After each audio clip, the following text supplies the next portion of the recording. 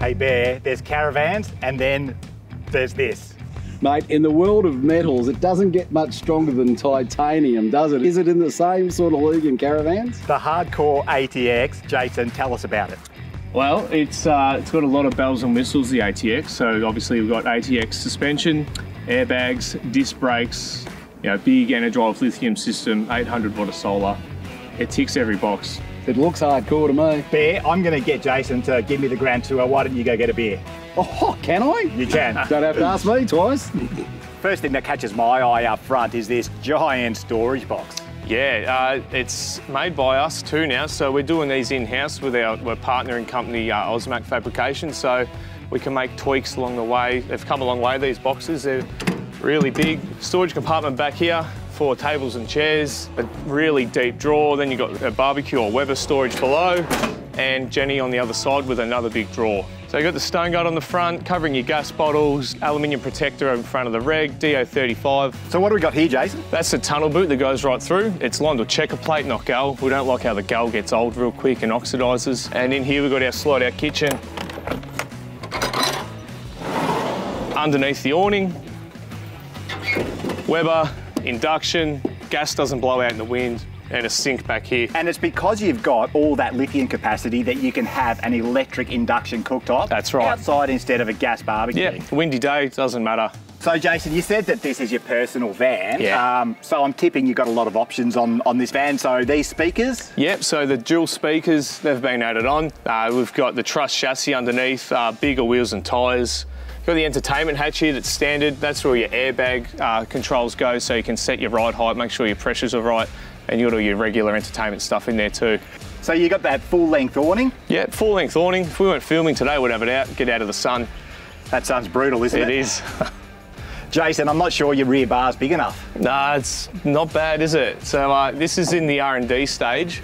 We've got uh, jerry can either side, two spares, and a drawer. So by getting the wheels up high, it is negative to have them up high, but we're saving 300 mil of overall length off your van. So the big draw here is great. You get all your wet gear out of the toolbox. Uh, it's all light stuff anyway, so it keeps your toolbox dry and clean. And then uh, if you go with one spare wheel, there'll be an option for a wood box to go here too. So you said it's in R&D. Um, when do you hope to have it in production? This will be in production early next year. So what's the go here? More storage. Yeah, it's a we call it the half tunnel boot. So because of the king bed inside, we get an extra storage compartment, which is great. So you got more room for outside gear instead of having to lug it inside and get it under a bed. So that's a genuine domestic king size bed inside a caravan. Yes, it is, and it creates more space because there's no walkway. Honestly, Jason, I'm so glad you've got the reverse cycle aircon hooked up to the lithium batteries. We're off grid and we are nice and cool, nice and comfortable Yeah. despite this heat. And that pressure hatch up there, that doesn't look like an off the shelf unit. No, we made that in house. Uh, it's got a few changes, and that'll also be going to market early next year. You've got a wall mounted washing machine up there. We do. Have you forgotten anything in this van? I don't think so. This is awesome. What's one or two of your favourite features?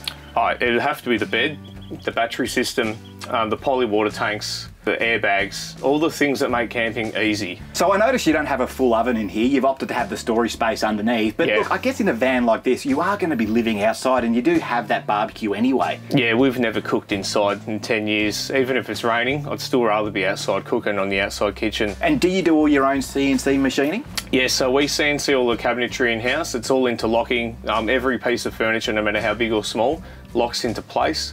And it's already square and strong before we screw it together. I haven't crawled underneath this van yet, so tell me, what sort of suspension are you using? So it's ATX airbags with the disc brakes. It's really the best suspension you can buy. So you've got three bunks on this caravan. They're all for your own kids. Um, Yes. You've plenty of storage space up the back, plenty of kitchen cupboard storage space. I noticed that you got some pretty big windows as well. Yeah, that's standard. So we'll always fit the largest window that possibly fits. It just opens up the van, makes you feel like you're not trapped in a little box. Yeah, I mean, look at that view. You want to be able to check that out. Yeah. And you weren't lying. That's a king size bed. It's a full king bed. Now, as I said, there are caravans, and then there's the hardcore ATX by Titanium. This thing's just a beast, mate. You must love it. No, we do. We get away as often as we can. It's great fun. Really appreciate it.